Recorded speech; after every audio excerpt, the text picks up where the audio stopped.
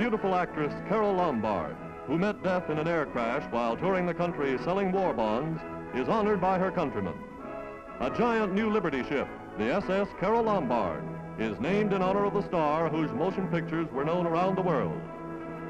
Lieutenant Commander Robert Montgomery and Miss Lombard's husband, Captain Clark Gable, are here as Irene Dunne smashes the traditional bottle against the ship's bow.